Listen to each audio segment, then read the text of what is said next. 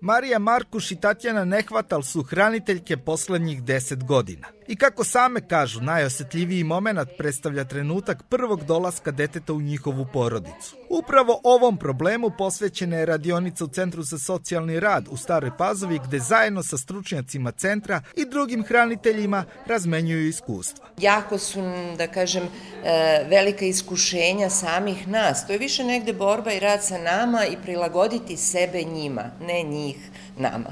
A kada dođu deca, pa osjećamo se kao kvočke. Prikupimo pilići oko sebe i to je to.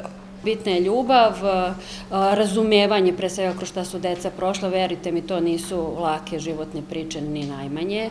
Ove, samo strpljenja. Zaista treba strpljenja i treba imati, e, i nisu to konvencionalna razmišljanja kako bih vaspitavali, na primer, neko dete koje je iz biološke porodice. Znači, tu mnogo ima osetljivih tema, ali naprosto, eto, zato smo u stalnom kontaktu sa Centrom za socijalni rad. Radionice su deo projekta Učimo za život koji sprovodi Centar za socijalni rad opštine Stara Pazova uz pomoć Pokrajinskog sekretarijata za socijalni rad, demografiju i ravnopravnost polova. U okviru savjetovališta za brak i porodicu, gde su od strane vojitelja slučaja dosta puta bilo upućivani hranitelji i e, deca koje se nalaze na hraniteljskom smeštaju, smo prepoznali zapravo potrebu za dodatnim osnaživanjem. Obuhvaćene će biti različite teme e, s kojima se susreću deca e, koje su ili razvojne neke krize ili nerazvojne, e, kao i podrška hraniteljima.